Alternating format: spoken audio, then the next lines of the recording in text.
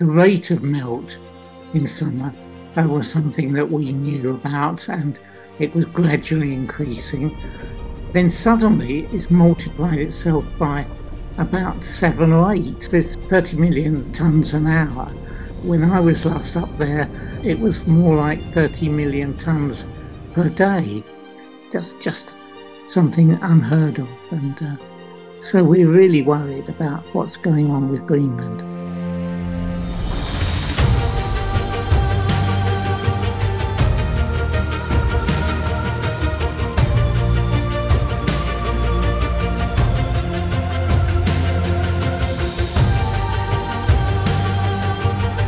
Welcome to Facing Future. 80% of Greenland is covered with glaciers that can be up to a mile thick. Most of its 56,000 residents live in the ice free coastal areas. And until recently, the massive ice was largely in seasonal balance. But new research has shown that the ice sheets are now losing an average of 30 million tons an hour. That's more than a trillion tons since 1985, and that loss is accelerating in this century due to climate change. The fresh water entering the ocean from this melting has major implications for the Atlantic Meridional Overturning Circulation, or AMOC, which is critical to maintain global weather patterns. With me today to discuss all of this are Peter Wadhams, Emeritus Professor of Ocean Physics at Cambridge University, and climate scientist Paul Beckwith. Welcome to you both. Hello. Peter, how serious is the situation in Greenland? Well, it's very serious because it's unprecedented. That is, the rate of melt in summer uh, was something that we knew about and it was gradually increasing. Um, and we knew what the various sources were. Then suddenly it's multiplied itself by about seven or eight. There's 30 million tonnes an hour. When I was last up there, it was more like 30 million tonnes per day. We're now gone to an hourly rate for what used to be a daily rate. And uh, when you're up on the ice sheet, you see big changes. There's always large meltwater streams, holes filling up with, with water. It's a very dynamic scene, but it's not nearly as dynamic as it is now because everything is speeding up by a factor of about eight. That's just something unheard of. And uh, so we, we, we're really worried about what's going on with Greenland. It hasn't figured into the climate models uh, the full extent of it until now. So it's 20% greater than they had anticipated. Paul, what have you unearthed about Greenland's dire situation here? Well, I think um, for quite a while, people have been focusing on uh, the the Arctic. I mean, we know that the um, Arctic uh, temperature amplification is huge. So, the, I mean, the Arctic as a whole is warming. I always say five to eight times faster than the, the global average. Um, for the longest time, all of the newspaper articles and mainstream scientists were saying it was double. And, uh, you know, now at least they're saying three times, or some of them saying four times. So they're getting closer, but as you go further and further north, mm-hmm. the warming um, ratio is much, much higher. So in the high Arctic, it's warming about eight times faster than the global average. So, of course, this is a huge underlying factor for huge melt rates on Greenland. We have very good data on measuring the mass of both Greenland and Antarctica, the gravity anomaly satellites uh, flying in tandem. And we've seen melt rates at least doubling every, what, seven to 10 years, typically, both for Greenland and also for Antarctica. And uh, we're still focused mostly on the northern hemisphere, but with all that missing Antarctic sea ice and warming water, people are very concerned also with the Antarctic uh, glacier melt. And they're tied together because melt rates greatly increase at, at one pole you know the, the, the rise in sea level can lift up floating ice shells and and cause uh, accelerated melting at the other pole. So there's a connection, of course, between them. People are going to be very surprised, I think, at the at the accelerated growth of sea level rise in in the next uh, you know decade decade or two. let alone. Well, what know, are what are we actually looking at? I mean, if all of Greenland melted, it would be 25 feet of sea level rise, according to what I've read. What what is it likely to be within the next? Are we likely to see something significant within the next couple of decades? Well, there the jury's out on that. We don't know for sure, but um, I mean, Hansen has said in the past uh, he wouldn't be surprised if we had five meters of sea level rise by 2100. He said that a number of years ago when the IPCC models were showing about uh, half a meter. Yeah, that I mean, of course is James Hansen, the famous NASA scientist um, yeah. who testified before Congress uh, famously and warned everybody years ago, and has now written several papers that are quite alarming. Right. You know, it's a work in progress. I mean, the rates are definitely accelerating. And uh, of course, we're seeing a huge acceleration in global average temperatures. We're seeing a huge acceleration in ocean water heating. So all of these things um, are mean mean that the sea level rise rates will have to be re- revised continuously. Um, and uh, you know, I I fully expect. Uh, you know, I think Hansen's probably underestimating with his five meters by 2100. Peter, um, as these uh, as the fresh water goes from the glaciers into the ocean, this is affecting the ocean in a couple of critical ways. The CO two levels and the um, the fact of the fresh water entering it is is how much is that going to interfere with the ocean currents? Well, we that's again a, jury jury's out on it, um, but it's a very large effect. I think the first of all the the water um, doesn't go straight down. People used to think, well, there's a load of sort of plug holes in the ocean where, which are called moulins, where the water runs swirling down like water down the plug hole of a bath and mysteriously disappears. In fact, what seems to happen for people who are studying it now is that the water is running into a kind of complete network of water masses that are going in a sort of a slant, heading in general for the ocean, but not getting there immediately. So there's an effect which we don't really understand, which is how the water actually reaches the ocean and how fast it goes. But that water has only one place to go, which is the ocean and that one place is filling up, and we, we have to consider how fast it's actually going to be um, causing sea level to rise, and that that's uh, is is frightening. Hansen, I think. Well, as the water goes under, goes uh, below, it, it's it's creating a different surface for the ice above it. So more ice would be melting if there's more water below it. Well, yes, the ice melt mechanism is is something where we we get alternating massive amounts of, of ice disappearing. For instance, we were working on a glacier in northwest Greenland, and it just completely fragmented into large lumps, which drifted off in different directions, and uh, we, we then studied one of them. But that is something that, that happens if there's a right enough stress um, in the ice cover. And um, you can have a benign period when nothing happens, and then suddenly an entire uh, glacier vanishes or smashes itself up. Um, so we, it's hard to say exactly. It doesn't go in a smooth way and we we, we have a problem to, to explain which how how this is happening.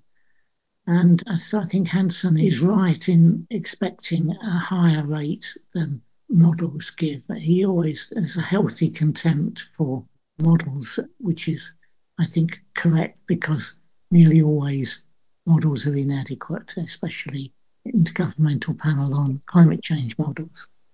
Well, this discrepancy and other discrepancies are really alarming because most people are listening to what happens with the IPCC and what happens at the COP. And, you know, it, if these are wildly inaccurate And that's what people are quoting. You know, this is really a problem. Where do we go for accurate information on on what's really occurring in our planet? Well, the problem, I think, one big problem is that you know the scientists are they're very willing to talk about their own research for a start. They're very reluctant to talk about research that's being done by other scientists that's sort of unrelated to their direct, uh, you know, sort of tunnel vision field, if you like.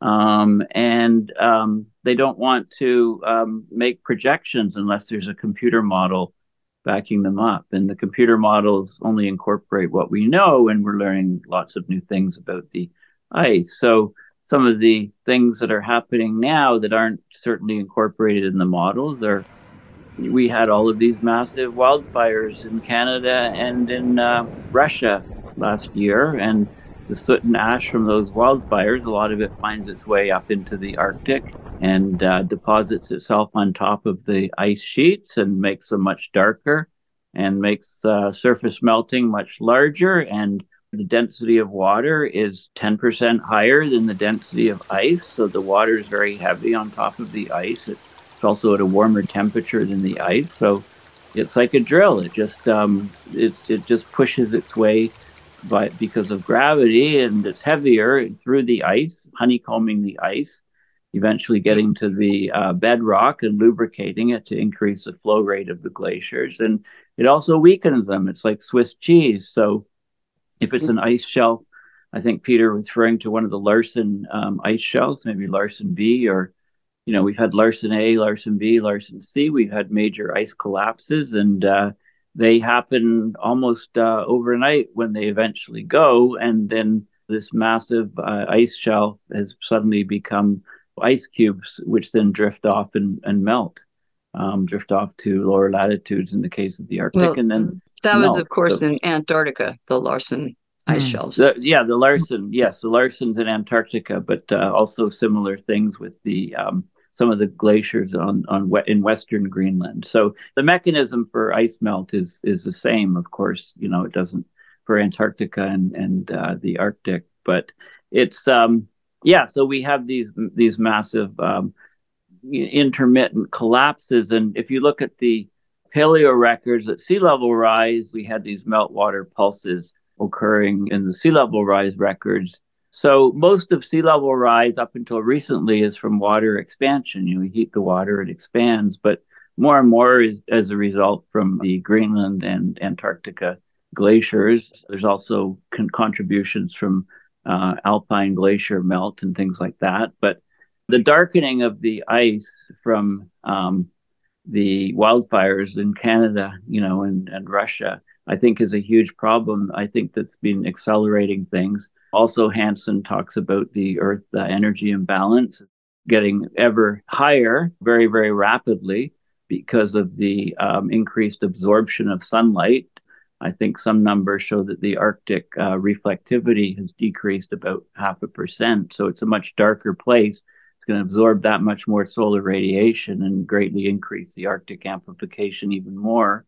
And we're also mm-hmm. seeing that in the southern hemisphere with the lack of, with all that missing um, sea ice around Antarctica. So, so that's one factor. I mean, we're always finding out new things about ice. Uh, there's things like marine ice uh, cliff instability. The ice is only so strong. So, if uh, the ice shelf is undercut or ice sheet is undercut because of a retrograde slope or something, then eventually you get towers, you know, you get these ice cliffs that are just too high to support their weight. So, so you tend to get cascading. So there's lots of domino type effects that Peter was talking about. It goes steady for a while, and then suddenly you have a massive, um, a massive impact, a massive collapse of ice sheets.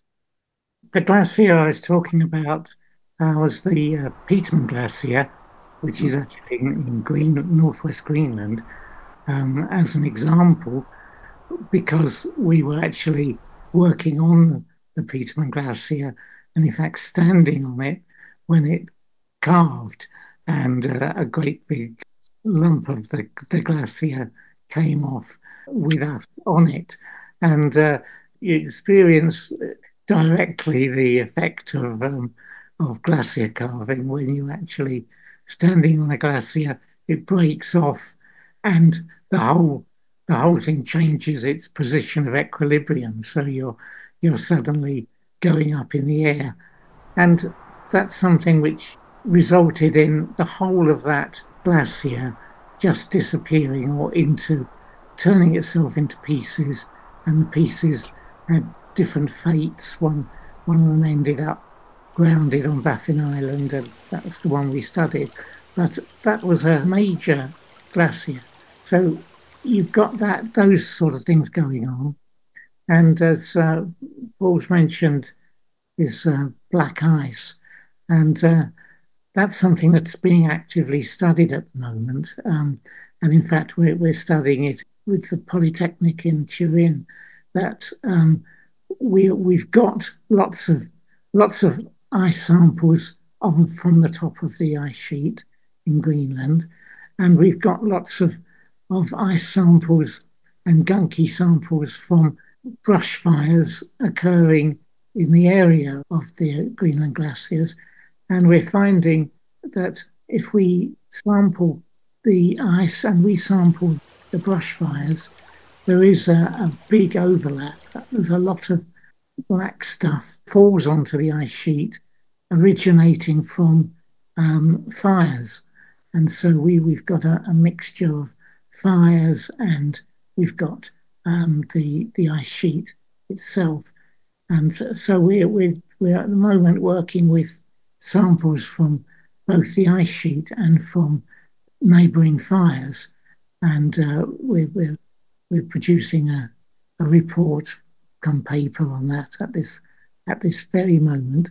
So uh, again, I might be able to bring some of the data to show you. So the ice um, gets dark, but then it snows the following winter. How much does that snow actually cover cover up our tracks, so to speak?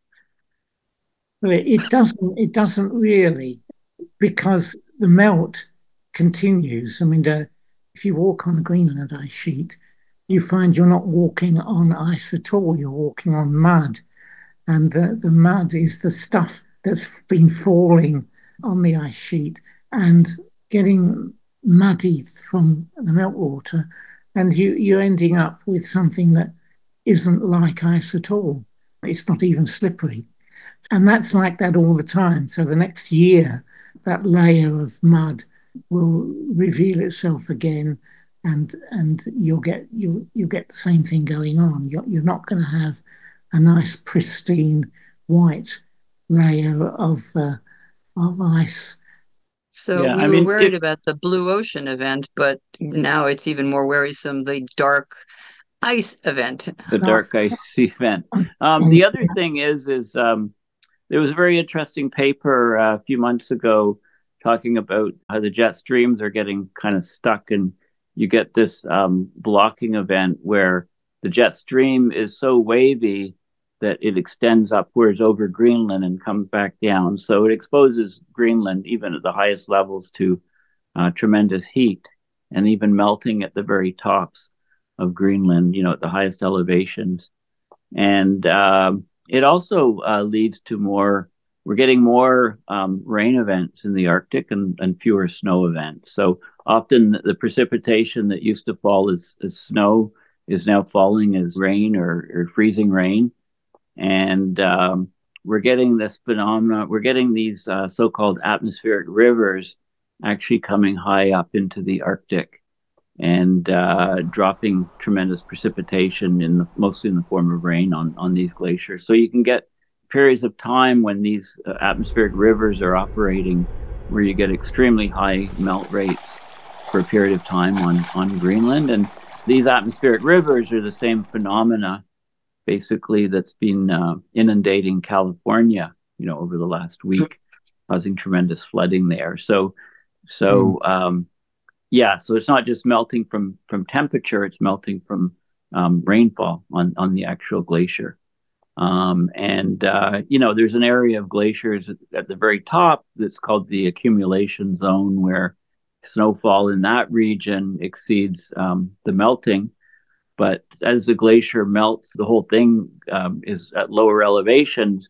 you get this very powerful elevation feedback effect where as you lose more and more ice, the, the rate of ice loss increases because the whole glacier is is at lower elevations and therefore warmer warmer temperatures subjected to these rain events. You you mean the the ice sheet is it is is low is less thick, but that's what you mean by yeah. lower elevation? Yeah. Yeah, yeah. So the ice, uh, the thickest ice on Greenland is about uh, three kilometers uh, thick on on the uh, highest highest points. So as mm. it um, melts to lower elevations, the melting can can accelerate. Um, so it's melting from above, and it's also melting from below from the water that's seeping through the moulins and into the, the lower part of the ice sheet. Uh, so yeah, this is kind of a double problem. It, also, I believe the water, the land is sinking. yeah, well, on both continents, both poles, you have this ice that is sitting on bedrock well below sea level. So the ice isn't in buoyancy equilibrium, it's not floating ice. So that ice, as it melts back, eventually it'll reach a point where it is buoyant in the water. In Greenland, it's melting from both the surface and below to a very, very large amount. In Antarctica, most of the melt is actually from below because mm-hmm. the air temperature is still well below zero. So, you know, if you warm from minus 40 Celsius to minus 30 Celsius, you're, it's not going to cause the ice to melt in on the surface in Antarctica, right? It's the water below that's warming and, and getting far inland on the West Antarctic ice sheet. So Greenland has these areas also where massive ice sheets are sitting on bedrock. So when they melt, um, they raise sea level um, because they're not they're not floating, they're not in buoyancy equilibrium. All right. Is there anything else that we we need to say before we close? Uh, well, just to mention the death of a very fine scientist that, that we all knew called Koni Steffen, which was due to this same effect of, of rain and melting ice, uh, because he ran a place called Swiss Camp, which was a hut where he, he, he stayed most of the year looking at melt rates. And uh, he was convinced that the, the, the melt rate of, um, of Greenland was something higher than IPCC was saying. And he think, thought it was something like four meters a year. This was a, a and he was collecting the evidence for this uh, when unfortunately he uh, he fell in down a, a moulin at, at uh, Swiss camp and died. But he had a very strong view about the rate of melting. And of course, it was borne out by the fact that his camp was swept away basically by the, uh, the, the fact that it was raining and and snowing at the same time. So I think we should remember Koni Steffen and think.